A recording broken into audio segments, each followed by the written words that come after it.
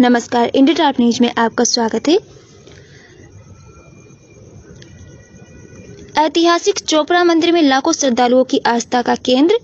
चोपड़ा मंदिर राट का ऐतिहासिक दृष्टिकोण महाभारत कालीन से माना जाता है।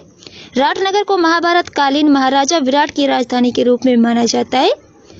चौपरेश्वर महाराज का विशाल का दिव्य मंदिर और शिवलिंग लाखों श्रद्धालुओं की अगाध आस्था का केंद्र।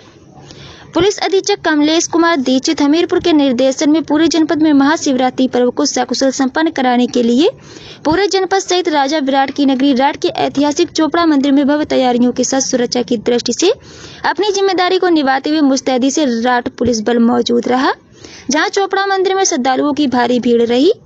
बुंदेलखंड में हमीरपुर जनपद की राठ नगर का ऐतिहासिक चोपड़ा मंदिर की पहचान महाभारत काल से जोड़कर नगर को महाराजा विराट की राजधानी के नाम से जाना जाता है।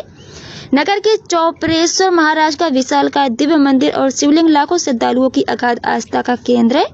माना जाता है कि चौपेश्वर धाम का मंदिर दर्शन मात्र से ही सारी मनोकामनाएँ पूरी होती हैं।